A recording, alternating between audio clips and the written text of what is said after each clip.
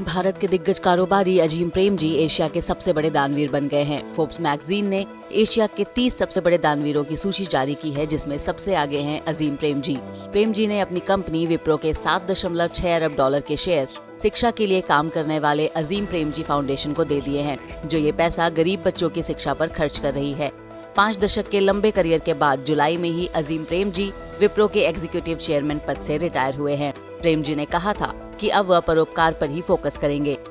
2018 में उनके पास 21 अरब डॉलर की संपत्ति थी, जो कि दान की वजह से 2019 में घटकर सिर्फ़ सात दशमलव दो अरब डॉलर रह गई है। गिविंग प्लेस पर सबसे पहले साइन करने वाले प्रेम जी अपने जीवन में कुल 21 अरब डॉलर दान करेंगे।